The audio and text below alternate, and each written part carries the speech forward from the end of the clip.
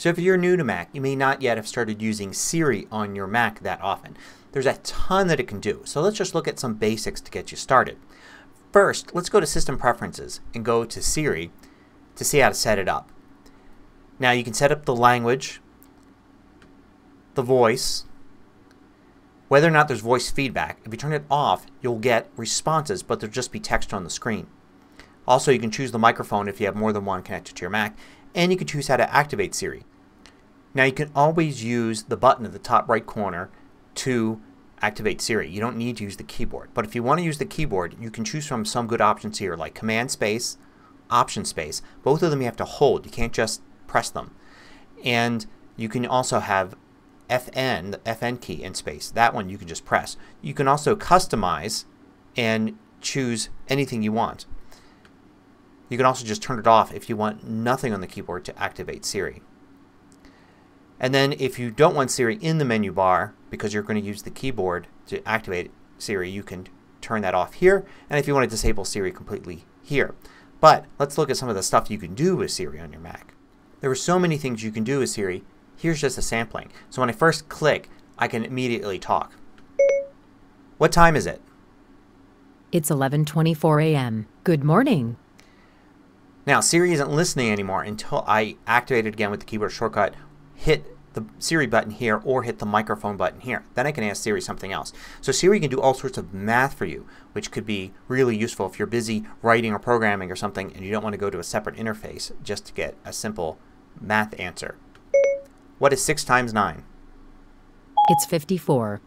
So Siri can also be used to launch apps. Launch pages. And it doesn't have to just be the Apple apps either. It could be third-party apps uh, that you have installed. You can also get to System Preferences pretty easily. Bring up System Preferences. Or to specific parts of System Preferences. Bring up Keyboard Preferences. But there are certain things that you could do without even going to Preferences. For instance, set the volume to 20%. I decrease the volume. Turn on Do Not Disturb. Okay, I turned on Do Not Disturb. You can also access things inside your apps. For instance, you can ask it to play music. You can ask it to play a playlist or an album or an artist or just everything. Play my music. And in this case it will launch iTunes and start playing. You can do similar things with photos. You can even get more detail and ask for searches. Show me my photos with water in them. And you can see it brings it right up and does my search. You could also even have it check your email. Check my email. You have 25 emails since September 15th, 2016. So in this case it doesn't even have to launch the Mail app. Now I can click on one of these to jump into the Mail app to see them. You can also use some of the basic apps like the calendar, reminders, notes, and everything through Siri. Create an event for 5 p.m. today. Okay, I set up your event for today. You Shall I schedule it? No. To continue, you can. Confirm. Cancel. All right, Gary. I'll leave it off your calendar. So you can do a lot right here. Set a reminder for 5 p.m. to bring my laptop home. Okay, I'll remind you. And it adds it in there. You even have a remove Delete this button. reminder. I deleted it. So I can kind of handle corrections and things right inside the Siri interface without ever even bringing up reminders. Of course when people think Siri they think of a lot of external data. So you can do things like what's the weather going to be like tomorrow? It should be nice tomorrow. Up to 73 degrees.